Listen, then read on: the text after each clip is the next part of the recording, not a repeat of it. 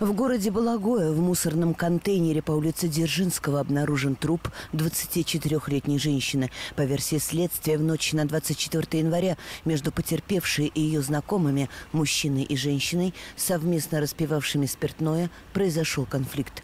Знакомые напали на женщину до смерти избили.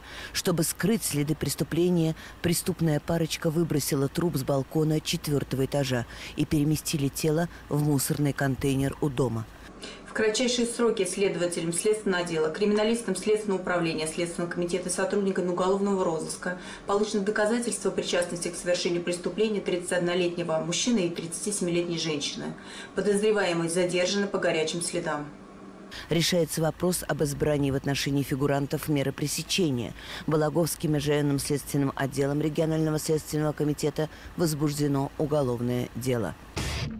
В предыдущем выпуске патрульной службы мы сообщали о госпитализации восьмилетней девочки, на которую утром 25 января с крыши дома в Зато Озерный упала ледяная глыба. В тот же день в Балаговском межрайонном следственном отделе регионального СК возбуждено уголовное дело оказание услуг, не отвечающих требованиям безопасности, жизни или здоровья потребителей, повлекшее по неосторожности причинение тяжкого вреда здоровью.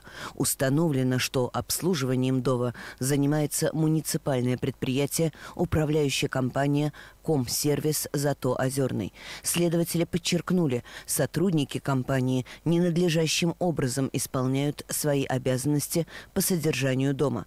В ходе расследования уголовного дела действием должностных лиц из числа руководителей управляющей компании, оказывающей услуги по уборке ледяного образования из снега с крыши дома, будет дана юридическая оценка.